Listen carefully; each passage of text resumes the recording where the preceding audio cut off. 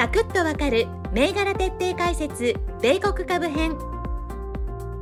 今回はティッカーコード CRM セールスフォースを紹介します。この会社はクラウド型の顧客管理ソリューション事業を展開している会社です。連絡先や購入履歴などの顧客情報を一元管理するサービスを手掛けています。営業やマーケティングなどを支援するツールを提供しています。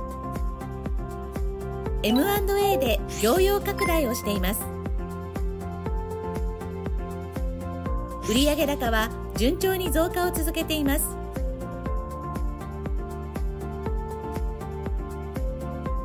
株価は直近10年で一時約3.6倍に上昇しました。直近3年の株価推移はご覧の通りです。